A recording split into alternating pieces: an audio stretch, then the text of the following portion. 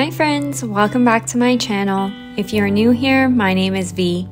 In this series, I will take you along our trip to the Maritimes in Canada. This is day three where we head from PEI to Nova Scotia on a ferry with our car and continue our food tour and adventures in the Maritimes. We woke up early and had a quick breakfast before saying goodbye to our Airbnb. We drove to the Wood Islands in PEI and rode a ferry to Caribou, Nova Scotia. The ferry ride was approximately 75 minutes. We pre booked our ticket on the ferry and it was approximately $84 per car. Making a reservation is not necessary, but there is a risk that the ferry will be full and you may not be able to get on as it is a first come first served basis if you don't have a reservation. This ferry was well equipped. It had outdoor lookout points, a large seating area, restrooms, Wi Fi, and places where you could buy food. It was quite windy, but the waves and the views were very nice to look at. After exploring areas of the ferry, we found a spot inside to sit for the rest of the ride. Before we knew it, we arrived in Nova Scotia. The drive from Caribou to downtown Halifax was approximately two hours. By the time we arrived downtown, we were ready for lunch. We grabbed lunch at the King of Donair in Halifax. We ordered a pizza and got some wraps too. The pizza had some meat on it, barbecue sauce, and pineapples. These were the original wraps and they had a bit of everything in it. Overall, the food was really tasty and enjoyable.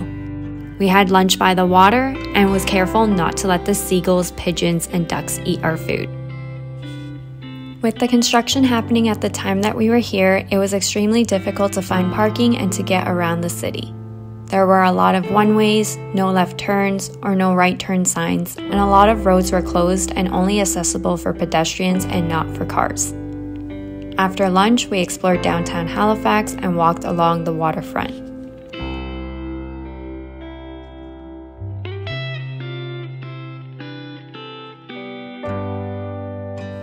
We went to Blue Nose 2 restaurant and grill for dinner.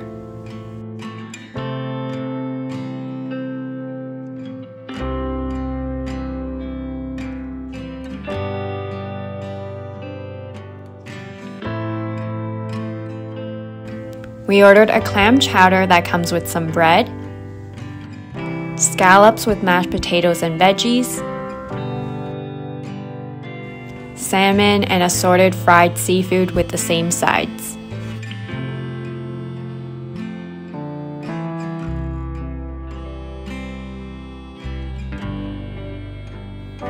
For dessert, we got ice cream at Dee Dee's. We ordered the mint chocolate chip and the mango sorbet.